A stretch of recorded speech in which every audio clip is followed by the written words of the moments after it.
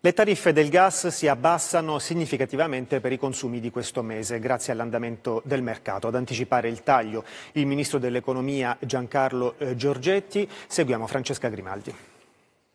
Il calo del prezzo del gas che farà scendere le tariffe fino al 40%, secondo un'impresa, avrà effetti positivi sui livelli generali dell'inflazione. Già le bollette del mese di gennaio saranno più leggere. Infatti giovedì prossimo l'autorità per l'energia indicherà la variazione delle tariffe annunciata dal ministro dell'economia Giorgetti. La riduzione è dovuta al calo dei prezzi della materia prima e alla diversificazione delle forniture. Ho detto 40% perché questo è la riduzione ai prezzi di mercato all'ingrosso. Naturalmente poi ci sono dei meccanismi complicati eh, gestiti da, appunto da ARERA eh, che determinerà e fisserà esattamente la percentuale. Il taglio alle bollette riguarda chi aderisce al mercato dell'energia tutelato, vale a dire il 33% delle famiglie. Inoltre a fine marzo scadranno gli aiuti a famiglie e imprese contro il caro energia, ma il Ministro ha anticipato che dal 1 aprile il rinnovo ci sarà, anche se il nuovo sistema sarà diverso e premierà i comportamenti più virtuosi, cioè quelle famiglie che manterranno gli stessi consumi consumi dell'anno precedente o addirittura di meno. La speranza è che